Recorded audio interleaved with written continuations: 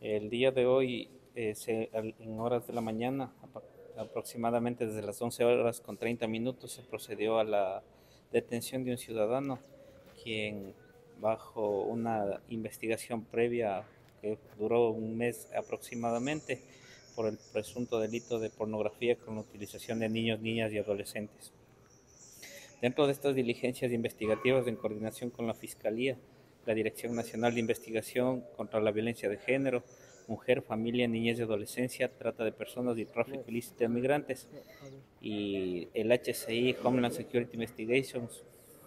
conjuntamente con el Departamento de Seguridad Nacional del Gobierno de Estados Unidos, se realizó el operativo con quienes eh, dentro de las plataformas que nosotros tenemos acceso en coordinación con ellos se pudo determinar la identidad de la persona y la ubicación de la misma, quien estuvo compartiendo a través de las plataformas de redes sociales, mensajería instantánea y correo electrónico, contenido sexual explícito con la utilización de niños, niñas y adolescentes. Estamos hablando de menores de edad de que, niños, adolescentes, en este caso como víctimas. Dentro del proceso investigativo, como tal cual se inició en un, eh, en un comienzo, nosotros ya tuvimos acceso a las plataformas donde él estuvo compartiendo este tipo de contenido. Dentro de las pericias se pudo determinar que dentro de estos videos existían menores de edad eh, desde los 0 años hasta los 17 años que ya constituye un adolescente. ¿Solo no se identifica si las víctimas son ecuatorianas o son ciudadanos cercanos? Dentro de la instrucción fiscal se determinará conjuntamente con Fiscalía para las respectivas pericias, determinar de dónde son originarios cada uno de los niños, niñas y adolescentes y posterior se realizará el acercamiento con las víctimas para poder realizar la atención integral conjuntamente con las autoridades. ¿En dónde se realizó, la detención y en qué circunstancias? La detención se realizó en el sector de Tres Postes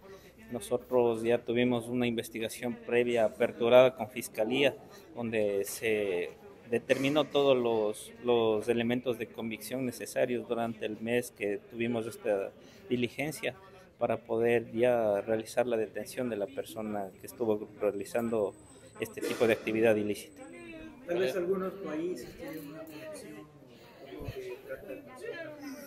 si nosotros, como, manifesté anteriormente, trabajamos con el Departamento de Seguridad de Estados Unidos y otras organizaciones no gubernamentales con quienes tenemos acceso a la información necesaria y a su vez compartimos todo tipo de, información eh, a su vez para la cooperación internacional y así determinar de dónde son las víctimas para poder que ellos realicen la atención integral a nivel internacional. ¿Cómo era el modo operandi de este ciudadano? ¿Cómo